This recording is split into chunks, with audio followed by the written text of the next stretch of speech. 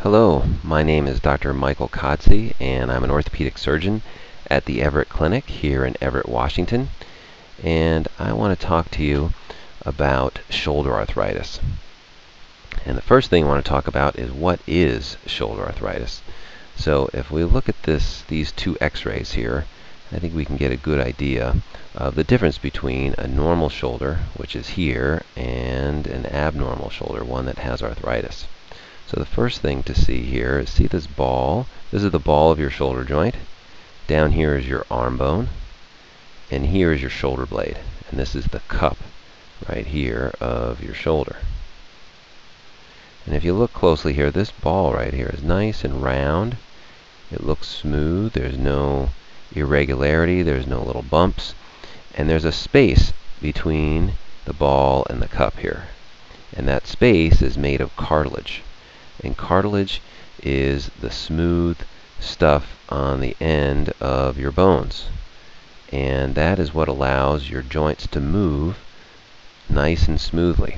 And cartilage is six times as smooth as ice on ice. So it's very, very smooth tissue.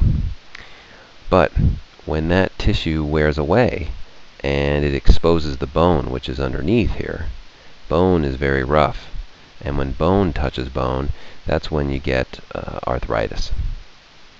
Uh, so on this picture here, you can see that the ball is not smooth anymore. You see these little bumps right here. And then it's round. And then you see this big bump right here.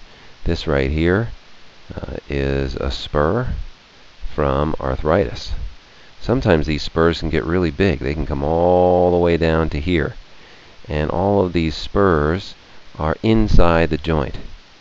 So you can imagine if you've got some covering that goes around the joint and you pack it with all these bone spurs, this ball is not going to move very well. It's going to you're going to become stiff. So a lot of patients with bad arthritis lose motion in their shoulder. They can't reach behind their back, they can't reach above their head like they used to, and they can't reach out to the side like when you're trying to grab something from McDonald's drive-through. So, uh, arthritis is a disease of the cartilage. It is when the bone is exposed on the end of the ball and on the cup. And there's many different levels of arthritis. So you can have really mild arthritis, where there might be just a little bit of loss of the cartilage in one little spot. Or you can get severe arthritis, where the whole ball is completely bare and just bone touching bone. Okay?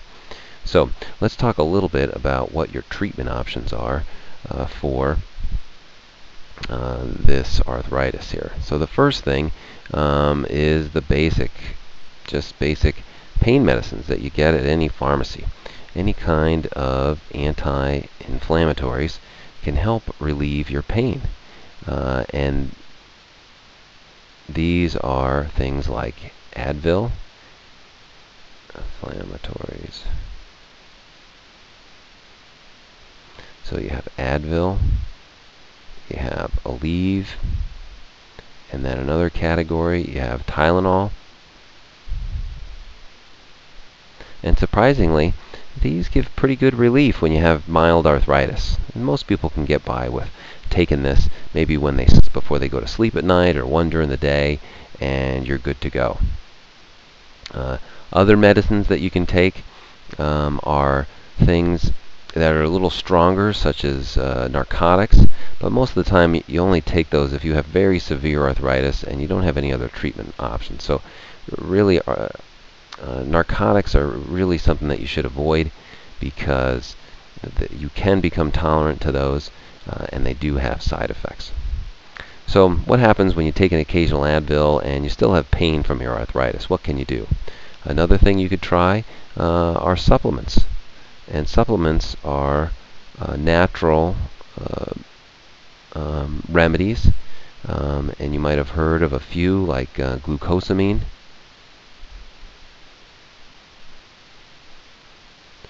And chondroitin sulfate is another one. These are things you find at any health food store. Uh, and what they are meant to do is try and replace, these are the building blocks of cartilage in your joint, and the thought is if you take more of these building blocks, you're more likely to replenish the cartilage that's in the joint here. Um, and they work probably for about half the patients that take them, and they are uh, there's really no risk uh, to taking these, and the only risk is actually to your pocketbook because you know sometimes they are costly.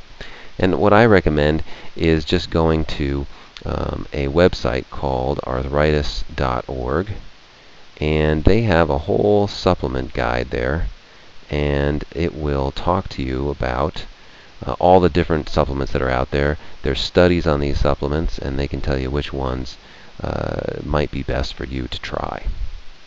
Now, when these things don't work, uh, other simple remedies uh, such as ice or more commonly heat. Heating pad on the shoulder before you go to sleep at night can often help. Uh, and um, that's usually the one that I recommend for someone who has a little trouble sleeping is get a little heating pad that'll help you out. Activity modification is always the other thing. You know, sometimes when you get older, um, there's certain things that you can't do, doing the heavy lifting up overhead or doing heavy weightlifting. Um, sometimes you you might have to moderate that a little bit. Um, and then uh, another thing that you can try here are injections. Now, injections are steroids, and sometimes you can take these injections and you inject them right in the joint here, uh, and what they can do is decrease some of the inflammation that's in this joint uh, that causes pain. The, the upside is sometimes they give pretty good relief. The downside is uh, most of the time they're only temporary. So it's a temporary solution, and I usually say if you've got some big event that you need to go to and enjoy, like a wedding, uh, or you're going on a big vacation, you know, there's nothing wrong with trying a, an injection before then. But for a long-term uh, cure, this is not really the answer. So um, if you've tried all these things and you still have really significant pain, especially if you have pain at night, uh, there uh, is a surgical solution uh, that could uh, help you, and that is a joint replacement. And a joint replacement is where we put on a new uh, a new ball and a new cup. So you replace this ball with a metal ball right here, like this, and that metal ball is attached to something that goes down the arm bone here to secure it in place. And then we put a piece of plastic on the other side here. And that piece of plastic has these little tubes in here and little spikes in there. And that basically is held inside the bone here. So now you get a nice smooth surface. Not quite ice on ice, but pretty darn smooth. And it really does the job of um, allowing people to get good pain relief. And so a joint replacement um, is excellent at relieving pain. Um, it is uh, sometimes good at improving your motion, but um, not as reliable uh, for pain relief. So really the main reason to do this is for pain relief, and most people who have, let's say, an 8 out of 10 pain, they go to about a 2 out of 10. So, or if you can say, you know, people beforehand can only do maybe 50% of their activities um, without pain, they usually go to doing 75% of their activities without pain. It's not 100%. You know, a couple people can get really great uh, normal function, but most people, you get about 75% of your activities back that you like to do. Uh, so doesn't make you 18 again, but it can certainly make you feel a lot better, especially if you can't sleep at night because you just have this constant pain uh, in your shoulder. Now, if uh, you have arthritis, the best thing to do is to see your healthcare provider because they can make the diagnosis by getting an x-ray of your shoulder. And if you do have arthritis like this, uh, with significant pain, you need to see your surgeon so you can talk about what your options are and whether you really truly are a candidate uh, for uh, surgery or if it's best to start with those other options that I just talked about earlier.